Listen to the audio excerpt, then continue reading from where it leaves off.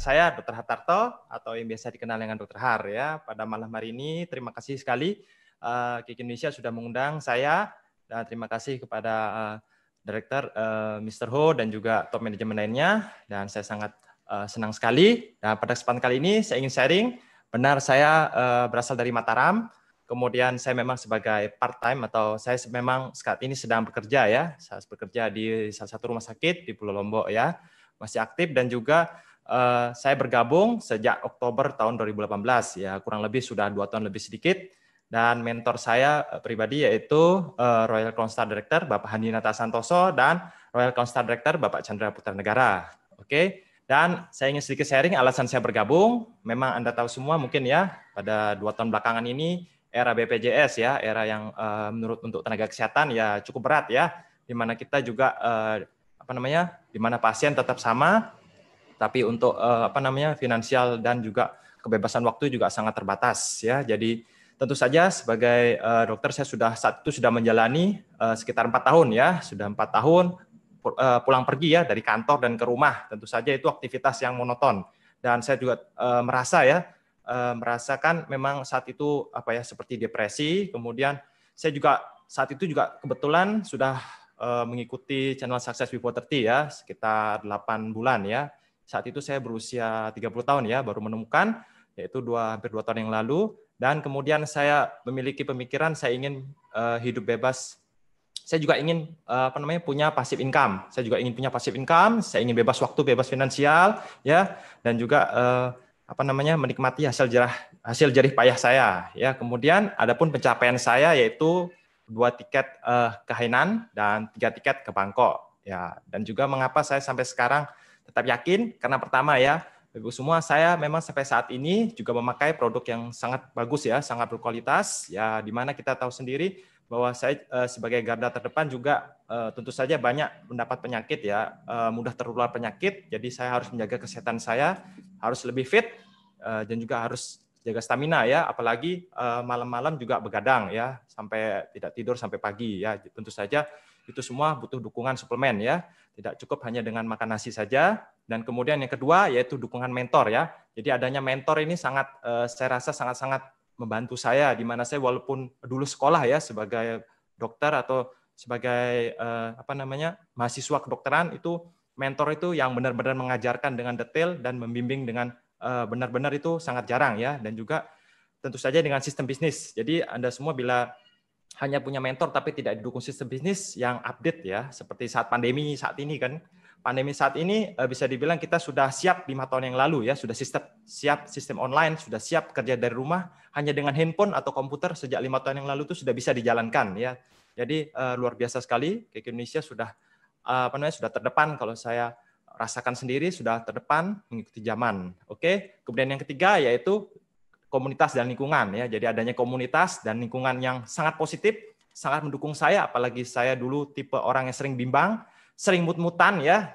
Eh, teman kanan, teman kiri, lihat teman kanan, teman kiri eh, santai-santai pingin ya. Kok enak ya sebelah itu, kok enak sebelah itu ya. Jadi eh, apa namanya tidak fokus ya. Jadi dengan adanya komunitas, teman mentor yang sangat positif itu terus membakar semangat saya ya. Jadi saya terus semakin apa namanya semakin terpacu untuk mencapai impian saya. Jadi lanjut target saya tahun 2021 ini ya saya ingin membantu ya 10 mitra uh, 10 mitra 10 mitra baru saya untuk mencapai tingkat manajer ya untuk visi go persen. Oke, dan juga saya juga uh, selalu menginspirasi, ingin menginspirasi lebih banyak generasi muda, generasi milenial untuk jangan takut ya, sukses sebelum usia 30 tahun ya. Semua itu pasti bisa.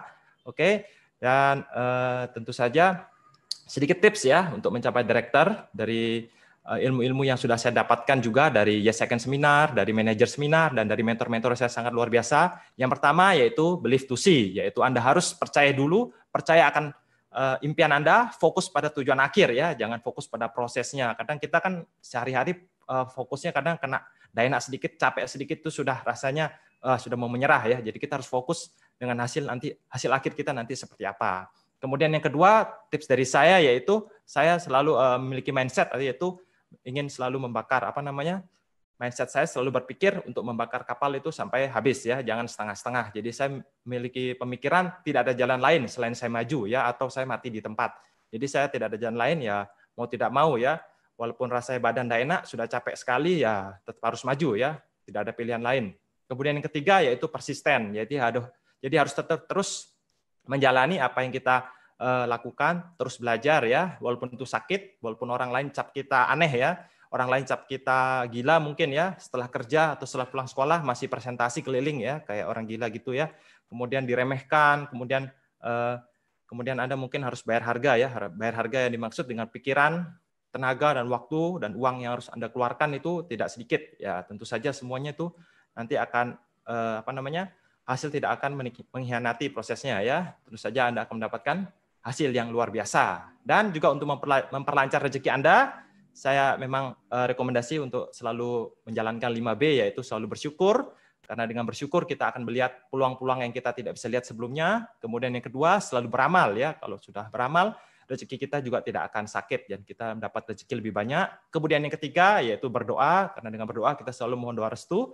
Kemudian yang keempat selalu berserah atau ikhlas ya. Dengan kita berikhlas ya kita juga eh, apa namanya lebih lebih tidak apa ya lebih eh, lebih tidak terpaksa dan juga kita bisa menjalankan itu lebih semangat. Oke, kemudian yang keempat selalu bekerja keras dan juga selalu belajar. Jadi memang kita dalam perjalanan selalu gagal, selalu uh, mungkin dalam dalam menjalankan kita punya tujuan, meraih tujuan kita mungkin ada halangan, rintangan pasti ada ya, tapi tentu saja kita tidak bisa selalu menjalankan hal yang sama ya untuk mendapat hasil yang berbeda. Jadi teman-teman atau yang bagi belum mencapai director juga harus terus mencoba ya, mencoba cara-cara baru atau merubah cara berpikir Anda. Mungkin sekarang mengapa evaluasi diri, mengapa saat ini uh, saya masih tidak ada perubahan, tidak ada tidak ada tidak ada terobosan baru, mungkin ada cara berpikir yang mungkin perlu dibenarkan ya Anda bisa konsultasi dengan mentor mentor-mentor Anda semua saya yakin dengan bimbingan dan juga dengan persistensi Anda akan bisa mencapai ya apa yang Anda inginkan. Kemudian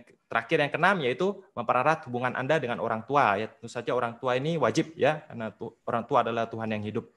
Oke, mungkin uh, sekian dari saya. Saya kira bila saya bisa, Anda semua pasti bisa. Oke. Sukses untuk kita semua ya. Go Royal Crown.